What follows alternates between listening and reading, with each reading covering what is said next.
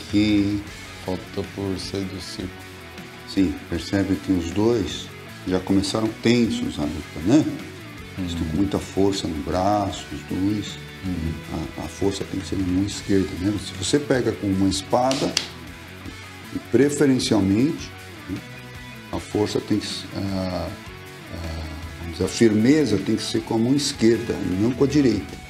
Aqui percebe-se que está com a força na mão direita.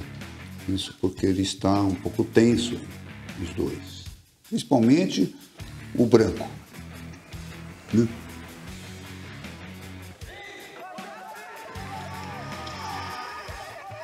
Esse golpe é perigoso, né? É. Está cedo para ele lançar uma estocada com uma mão. Né? É praticamente você arriscar jogar tudo.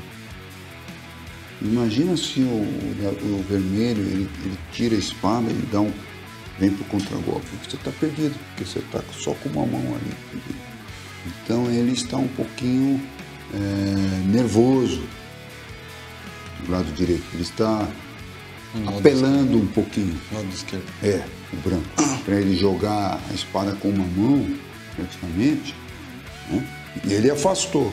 Então, se você afasta um exército que ataca e depois afasta, ele certamente será derrotado se o adversário for experiente. Mas como o vermelho também está nervoso, ele não, não conseguiu atacar.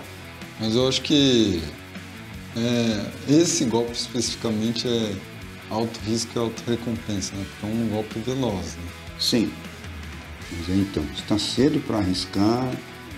Eu não vejo, eu não vi nenhuma abertura aqui no vermelho para ele arriscar isso. É por isso que assim, tudo bem, ele arriscou, mas hum, sem motivo para arriscar.